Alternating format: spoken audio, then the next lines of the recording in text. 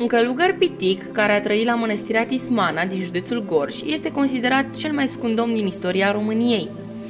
Gerasim Cornescu a trăit între anii 1815-1902. Acesta era numit călugărul cel mic ca urmare a mărimii sale neobișnuite. Avea o înălțime de numai 114 cm. Într-un top realizat de antropologii germani, Gerasim Cornescu ocupa locul 16 în lume – Călugărul cel mic apare chiar și într-o carte poștală în care este înfățișat lângă mănăstirea Tismana. Alexandru Vlahuță descrie cum era privit călugărul de la Tismana în România pitorească. În poarta mănăstirii ne este înainte piticul Tismanei, un călugăr mic, spân, cu fața zbârcită ca un hrib, o mângâldeață de om cu glas de copil, cu ochi și mișcări de maimuță. Arătarea aceasta ciudată se potrivește de minune cu sălbăticia locului în care ne aflam, a mărturisit Alexandru Vlahuță.